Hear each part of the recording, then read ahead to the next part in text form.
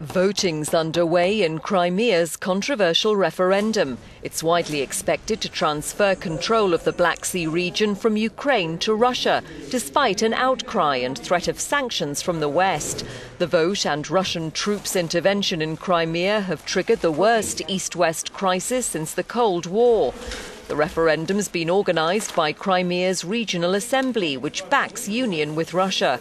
The electorate are choosing between two options which both imply control from the Kremlin.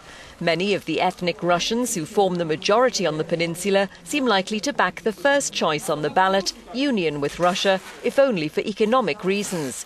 A second option's independence, initially within Ukraine, but Crimea's new leaders say they'll use this as a basis for accepting Russian rule.